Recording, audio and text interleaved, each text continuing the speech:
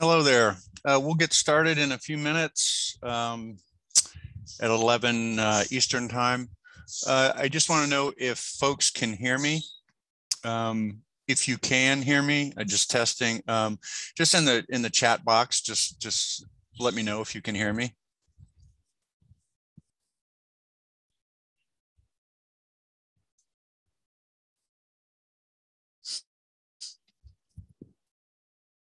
Hi, can people hear me?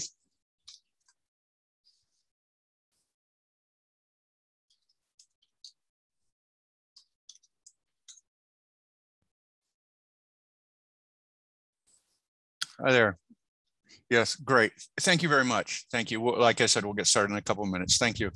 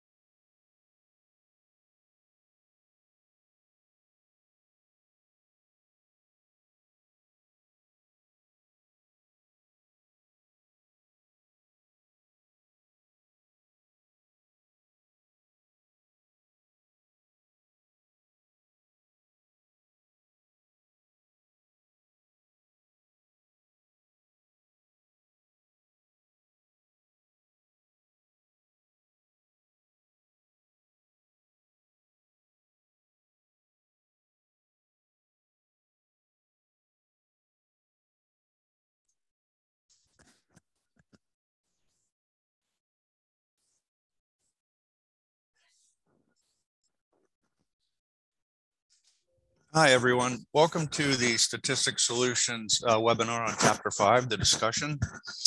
Uh, just a couple things before we get started today. We do have a support person um, on with us who can answer um, any questions, like technical questions not related to content. Um, and we'll also provide you links for where you can access um, versions of today's webinar and um, our other webinars that are archived. Okay. Um, also, I will take questions um, at the end. So um, if you want to type your questions either into the question and answer box or the chat box, feel free to as you think of them throughout the presentation. But I won't be able to, I won't get to them until the end. Okay, so if you are on the chapter five, congratulations. If you're not, you're just looking ahead. That's good too, to just to kind of see what to expect. Uh, but if you've made it this far, um, congratulations. You're you're near the end of the race. There's still work to do. Um, but uh, hopefully you can see the kind of the, the finish line in sight. Uh, so yeah, chapter five is the discussion typically if we're following the typical you know social science uh, five chapter model um, where you discuss and interpret your findings. Okay so here's what we're going to be covering today and these generally align with the features the expected features of the discussion chapter. Um, you're going to hear me say this several times throughout the presentation but you, if you haven't already, um, make sure you obtain a copy of your school's guidelines or template for the dissertation and for the chapter. um, because now while what I have on the screen is pretty general and pretty typical, um, schools do have, you know, little, maybe little variations. Sometimes the headers will have different titles. Sometimes they'll be, um, you know, in a different order. So again, these will work as a good general template. Um, and, and, pretty typical. But again, if if your your school will sometimes have little differences, so always you know go to your school's template. Okay, so these are the sections we're going to be covering today. Again, um, typical section sections of a chapter five. Okay, the introduction um, you know, just just it, the purpose of the introduction of this chapter is like um, other chapters. You want to introduce the material, but you also want to kind of reorient your reader. Um, so chapters are, you know, to some degree, they're stand they, they can be kind of read as standalone chapters. So um, in the introduction, it, it's always helpful for the reader to restate the purpose of your study you know, what was your study designed to do? Remind the reader of the, uh, the importance of your study, the research problem, you know, why your study was needed. Um, and if you want, you can also kind of preview contents of the chapter, the sections that are to come. A pretty cut and dried introduction. Um, some schools want you in the introduction also to summarize your findings. Um, that's fine. That usually comes at the end of, of the introduction. Um, and a summary of your findings is just what it sounds like. It's it's a summary. You don't need a lot of statistics. Um, in fact, the, the chapter five should be relatively statistics free, not entirely, but um, you know all the statistics are in chapter four in the results chapter. Um, chapter five is a more plain spoken um, chapter. Uh, like I said, statistics light or sometimes statistics free. Um, so when you summarize your your your findings, um, again, make it a summary. It can just be, uh, you know, and look for the look at the end of chapter four where you've summarized your results, and that will give you a good, um, you know, guideline for summarizing your your findings here for this chapter. Okay, the next section is usually called something like interpretation of the findings. Sometimes it's called discussion of the findings, which is a little confusing because the chapter is called the discussion. Um, but this is really the heart of the chapter. Um, and it, it's a little tricky, but once you get your head around what they're expecting, um, I think you know it becomes clear to people what what they're looking for and what you're what you're trying to do and basically what you're, you're doing is you're, you're taking your your findings uh, stating your findings and you can you can section this section out with subsections based on your RQs if it's quantitative or, or your themes if it's qualitative. Um, so you know for example research question one you can restate it um, kind of lay out your findings, you know, briefly summarize what you found, uh, discuss that a little bit. But the real, the real thing they're looking for is um, how your findings compare to some of the major findings of previous research.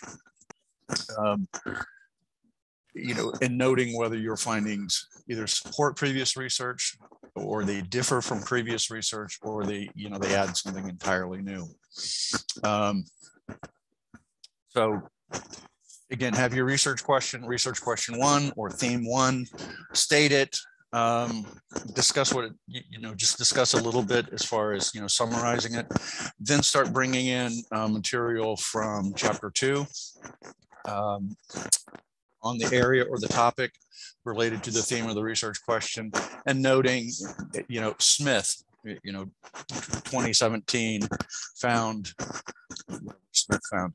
Uh, these findings, um, my findings support those of Smith, or my findings do not support those of Smith. And you bring in some of the, the major research on the topic, um, again, noting similarities and differences.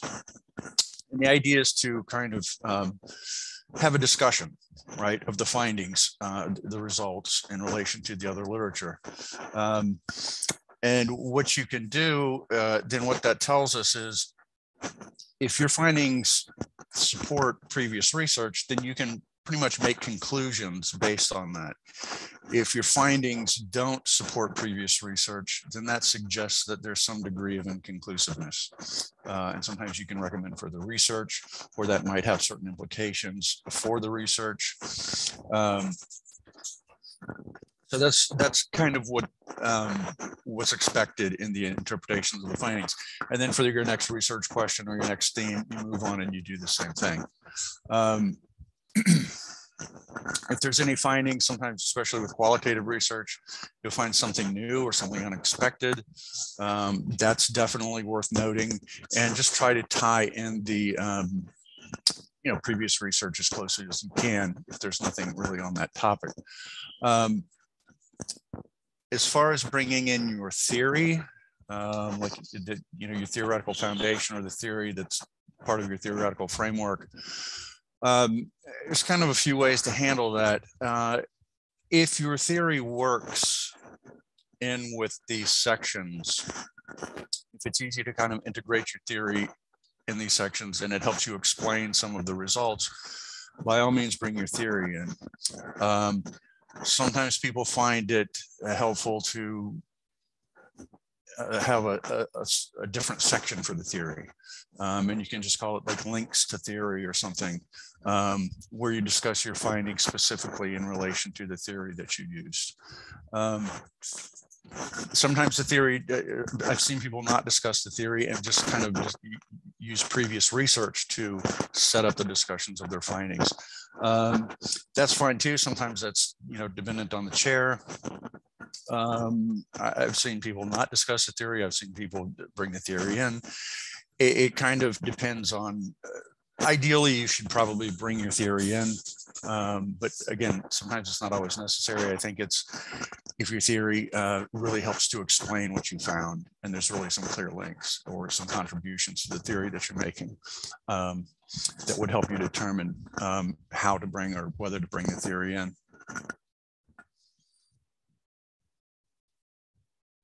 Okay, uh, limitation. So yeah, that um, and another suggestion, uh, you know, using your resources is great. That you're, you know, attending webinars, um, that you know you're, you're, looking on the internet at reputable sources about, you know, how to go go about discussion chapters. Use your resources. I think that's fantastic. Another suggestion is to, if you haven't already, again, obtain um, an approved dissertation from your school in a similar area or you know similar study uh, that you've done uh, because sometimes there's just no substitute um, for having an example or two at hand when you sit down to draft these chapters. Um, you can see what how somebody else has handled the content of certain sections. Um, again, you know, you can have things explained to you, you can read the guidelines and you think you get it, you go to draft and it, it kind of doesn't make sense. So having an example um, is oftentimes really helpful. Uh, next usually comes a section on the limitations. Um, and this is noting or explaining any shortcomings or weaknesses that may have affected your results. And the idea here is that um, you, know, you have the results, you have the interpretations that you just you just talked about, or the discussion of the findings. Um, but if anything kind of may have affected your results, that needs to be noted because that means there's kind of an asterisk by your findings, right? Um, for example, like for, for quantitative studies, um, if you had a low sample size, like if your, your study was underpowered, um, that's a limitation that can affect your results because that affects your uh, statistical certainty. It decreases your statistical certainty. So um, that needs to be noted. So the idea for the reader is that, um, yes, here's my findings, but because of certain limitations, we, we kind of need to consider these limitations when we, when we look at the, the findings. Um, that would be a major one for, for quantitative research. Um, sometimes you can't get the population that you wanted. You have, have to use other people instead of the, the, population you're looking for. That could constitute a, a weakness. Um, for qualitative studies, um, sometimes things like um, you know, researcher bias, um, you know, that, that, sometimes you're too close to the topic. Um, and there, there's various ways to mitigate or prevent researcher bias. And if you think, you know, that may have been an issue, you can talk about those ways that you that you help to prevent um, researcher bias.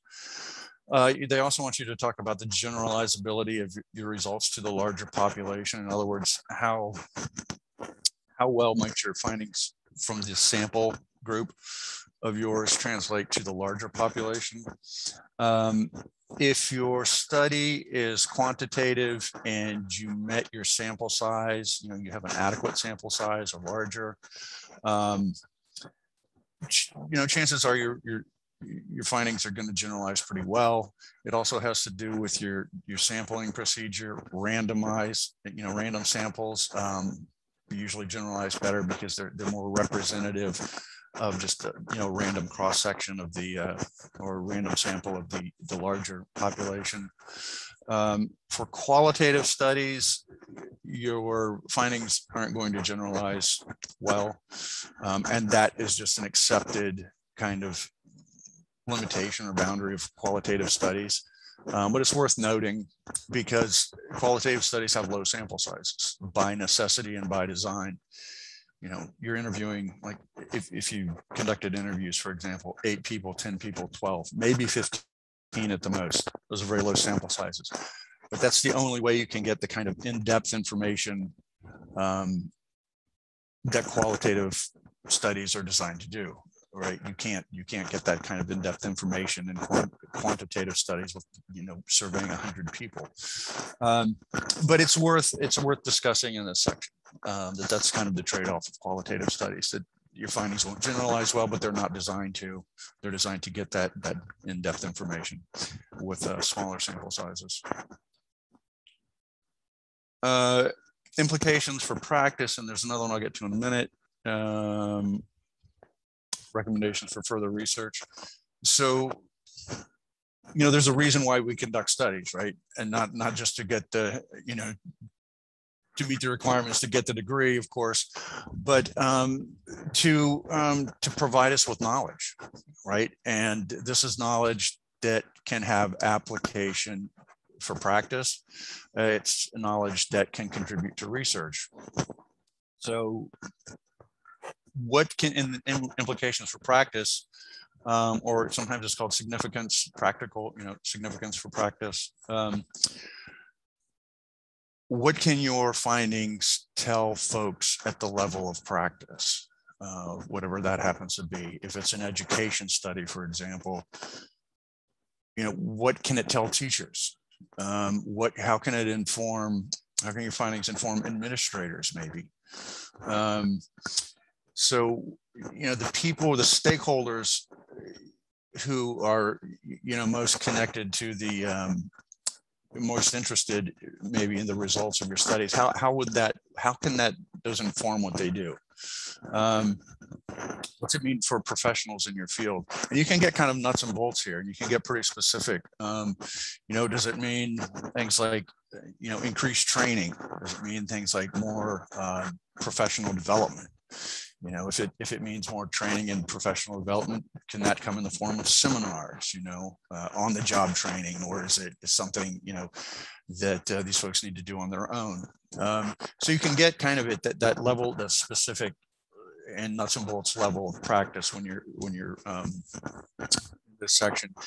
And the the suggestions or the implications should stem from your findings. They're not general recommendations. Like if you're doing an education study and you say, oh, you know, it's practically it's it's it's important that we pay teachers more money. And it's like, well, that is important, but if your study wasn't about that in education, you don't want to include it as a general recommendation. The, the, the implications for practice and the recommendations for practice, practice should stem from from your findings.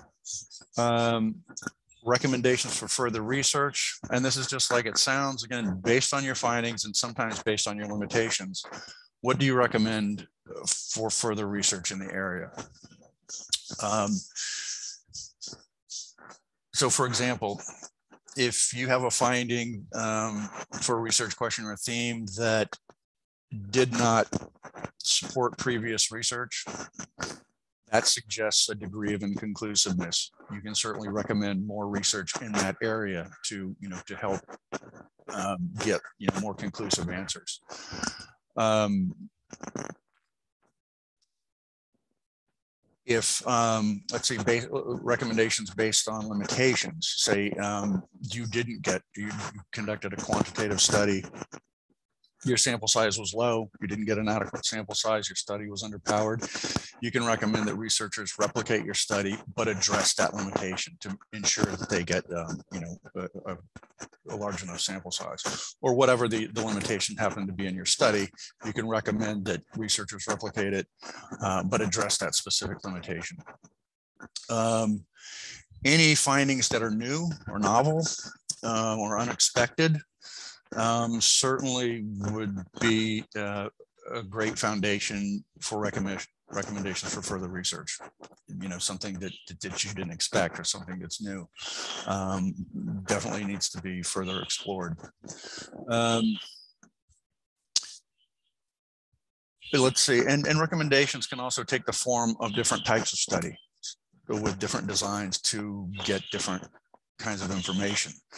Um, so if you, for example, conducted a quantitative study, a correlational study to see if two constructs were related in a certain population, um, you found that they were, um, well, that's great. Well, then you can maybe, um, you know, recommend uh, qualitative research to understand that um, that relationship better and from a different angle from from the uh, you know from the perspectives of, of, of the people involved but really getting their take on it right? Um, you can recommend you know case studies for example if you you wanted to recommend like a more comprehensive understanding of a topic or of the topic um, you know case studies involve multiple sources of data so you could uh, recommend a case study on your topic to get, you know, to get more data and more data from different perspectives. Um, longitudinal studies. Longitudinal studies are studies that occur over time and they have multiple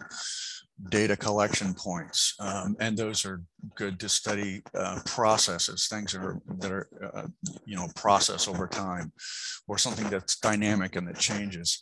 So the point is that you can also recommend, um, you know, different kinds of studies uh, to get different kinds of information on your topic.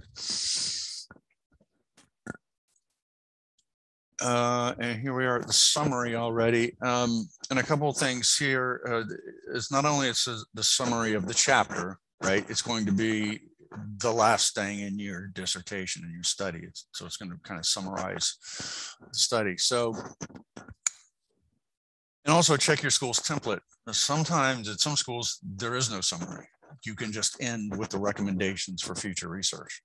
So yay for that, right? Um, but some schools do require a summary.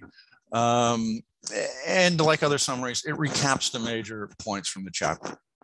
Um, and resist the urge to do the, I don't know what happens. Sometimes people um, it seems like they they forget how to write summaries or something and they they just kind of say say in this chapter i did this this and this and this and they just kind of list their their headers which isn't a real summary so make sure you you, you provide it you know you recap major points from the chapter the other important thing to do, because it's the end of the, uh, the dissertation, the end of the study, you want to leave the reader with a take-home message that involves the most important things about your study you want them to remember. Okay, um, so sell it. So sell the importance of your stu study. Um, and leave the reader with with the most important things you want them to remember, whether it was um, important findings about the connections between between two constructs, a new finding, an unexpected finding, um, uh, you know, what it tells us that we didn't expect or what it, confirm, it confirms something that's really important. Um, you know, really hit that that message hard at the end. Okay, and this is our contact information. This is a small description of what we do. Um, basically, we're an editing, a consulting, and a statistics service. Um, and uh, you know, not only do we provide editing and consulting, but it's the editing we provide is um, what's called developmental editing. So it's it's editing design, not just kind of line editing, but it's editing designed to help you um, see what's working, you know, at the macro level, what's not working, what still needs input, you know, how things are aligning. Uh, you know, assistance basically in helping you to develop the document into what it needs to be to get through and to have a, a good study um, as well as statistics services. But um, more of the, about this can be found on our website, and you can also talk to somebody if you're interested in just talking to somebody more about what we do. Um, okay, I'm going to open it up to questions. If you have any questions, um, please put them in the question and answer box or the chat box, and I'll and I'll try to answer them. Um, let's see, I have one here. Any data analytics support using Python as an option? Um, I don't know um, because I'm not a methods person, so I, I can't really answer that one. But we do offer methods seminars, uh, uh, sorry, webinars, and um, seminars on, I'm sorry, webinars on chapters three and four, which involve the methodology and the results. Um, so attending one of those methods webinars, we, the person could probably answer your question about that. Okay, here's another one. In regards to the editing practices, do, do you align said practices with the student school's rubric for the dissertation? Um, Okay, uh, let's see. Okay, I'll, I'll get back to the, the, the question about the um, data analytics in a minute. Um, yeah, so do we, it sounds like this, this question is about, do we um, kind of follow your school's template when we help you out? Yes, we do. Um, yeah, we do. We do follow your school's template. As best we can and make sure that that you are too. Yeah, that that's part of it. Um, so we'll ask you if your, your school does have a template.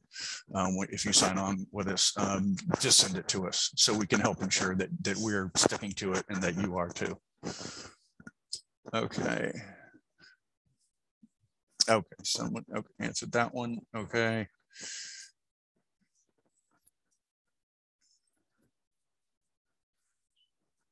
Okay, uh, that question was any any other questions?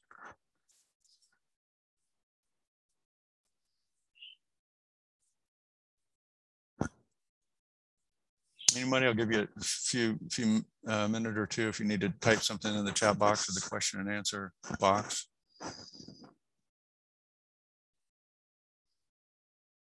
No, no questions. Everybody's good on the chapter five.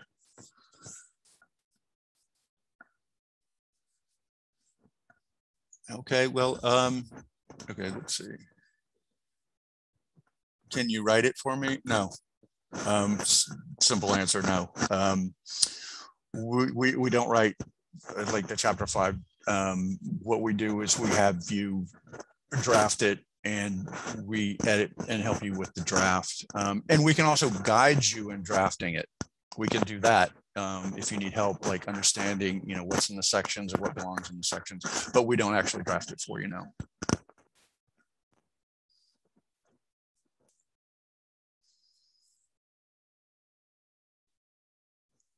Ah, I was kidding, but I didn't know about the guiding aspect, so it ended up.